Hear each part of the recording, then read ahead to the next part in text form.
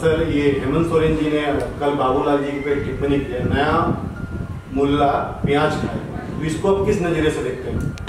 दरअसल, कोरोना के इस लॉकडाउन में मुल्ला शब्द लगता है मुख्यमंत्री जी को काफ़ी परेशान कर रखा है। और वो उस मुल्ला शब्द से इतने खौफजदा हैं कि वो सोते जगते हर समय इस शब्द को याद रखे हुए हम भगवान से चाहेंगे कि वो ज़्यादा प्याज खा रहे लोग ऐसे लोगों से उनको उनके खौफ को कम कराएँ उनको खौफ से मुक्त कराएँ।